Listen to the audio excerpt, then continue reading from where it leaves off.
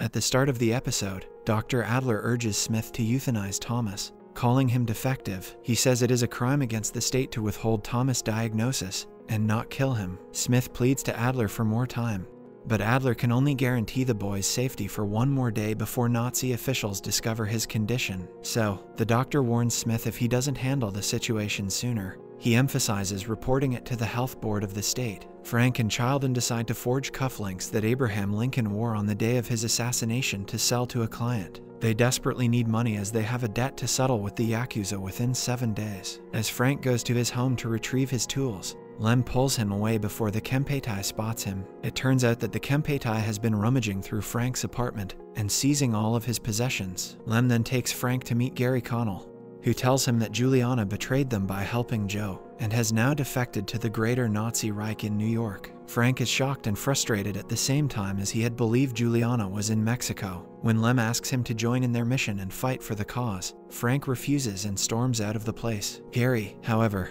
commands Lem to follow him. Meanwhile, Juliana has to undergo a detailed medical examination to qualify for asylum. The Nazi doctors thoroughly examine her with many medical tests, searching for every clue to her heritage. Sometimes later, in an interrogation room, a Nazi officer asks about her sexual relationship with Joe, but Juliana denies the involvement of any sexual relation. He then asks her for a complete catalog of the past two weeks, including every place or person, including the resistance that she visited, while unaware of being observed by Smith. Back at her parents' place, Inspector Kaido makes a surprising visit. After informing them about Juliana's recent defection, he asks them about her recent activities. They mention that her behavior was off because of the films. Kaido realizes that Juliana met the man in the high castle and leaves the place before ordering the parents to notify them in case Juliana contacts them. In New York, the Nazis are still questioning Juliana. Soon after, Smith enters the room and asks Juliana about the resistance members she identified. He then decides to grant her asylum, despite some medical issues standing in the way. Later, Smith drives her to his home and gives her a new identity as Julian Mills. Mrs. Smith helps Juliana settle in a dormitory. However, Smith still needs something from her. Precisely, more information about the man in the high castle. We now finally see Joe, who is in Berlin to meet his father, Martin Heusmann, at an evening party at Heusmann's private mansion. Joe is upset that he can't speak with his father alone as he busies himself with party officials. Joe is, in fact, still annoyed with his father for leaving his mother alone in America. As Joe leaves, he meets a filmmaker, Nicole Dormer, who takes a liking to him. In the following scene, Childan delivers an ominous message for Frank. The message instructs Frank to go to a noodle shop at 4 p.m. to meet a resistance fighter. Surprisingly, the one he meets is Sarah, who happens to be Japanese. Sarah informs him that Juliana's actions caused the Kempeitai to arrest 12 innocent people for the murder of the two police officers when she shot them during her escape. Frank argues that he doesn't want to get involved, but Sarah still offers him the opportunity to help the resistance. In the meantime, Juliana stands in awe at her new apartment, facilitated by the Smiths. With a new identity, she stands in front of her mirror, cleans herself, and cuts her hair short. When she gets Joe's street address through the operator, she gets dressed to find Joe. When she arrives at his place, she doesn't find him but instead meets Rita, Joe's ex-girlfriend. Rita informs Juliana about Joe's trip to Berlin and also implies that his father has a permanent job set for him. Back in the Pacific States, as the Japanese Kempeitai round up the civilians in a factory, the resistance, along with Frank and Sarah, have a plan to rescue the innocents. Sarah poses as a hostage being held by Gary. As the Kempeitai busy themselves demanding her release, Lem attacks them, and Sarah finishes off another Kempeitai soldier. But when Sarah tries to grab the keys, another Kempeitai holds her at gunpoint. Frank then manages to grab a gun and kills the officer from behind. In the following scenes, Smith takes his son, Thomas, on a fishing trip, supposedly to euthanize him. But after Thomas admits that he has a crush on a girl from school, and realizes that he cannot kill his son, Smith decides otherwise. Later on, when Alder meets Smith on his way to work, he reassures Smith that his actions are justified thinking he took Thomas's life. Smith's reply comes off as a surprise when he jams the syringe meant for his son into the doctor's leg. The doctor collapses immediately, preventing him from reporting Thomas's illness to his superiors. The show then cuts to Tagomi meditating in his office while holding the frame of his dead wife. As the glasses break,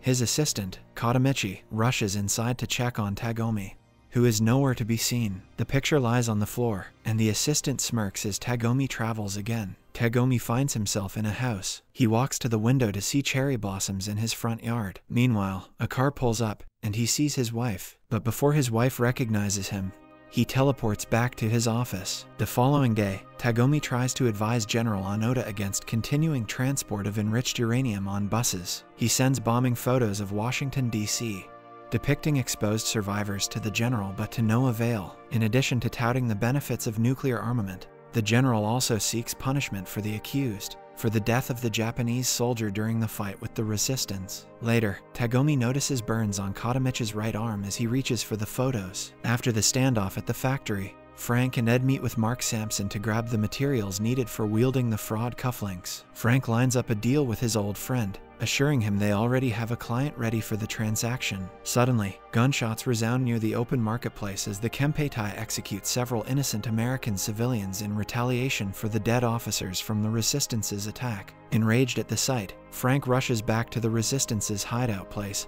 and informs them about the executions. The group then decides to steal explosive materials from a bomb guarded by the Kempeitai. Determined to fight, Frank brings Ed to the Resistance House to plan the bomb theft. In New York, Juliana visits the Smiths to study for her citizenship exam, but since Helen has to comfort her grieving friend, Dr. Alder's wife, she asks Thomas to assist Juliana. While studying, Juliana notices Thomas's hand shaking. After finishing, as she proceeds to leave, Helen invites her for dinner the following day. Back in San Francisco, the resistance fighters enter an abandoned building where the explosive materials have been kept. Ed and Frank begin drilling the bomb while Sarah acts as a lookout. Tension builds up as one misstep could blow them up. Fortunately, the group accomplish their mission without detonating the bomb and extract explosive materials. Ed then returns home while Frank and Sarah wait for the instructions from Gary. The two talk about how they ended up fighting for the cause of the resistance. As they share more of each other's stories, they are slowly drawn to each other and get romantically involved. Meanwhile, Juliana searches for George Dixon at his apartment in Brooklyn,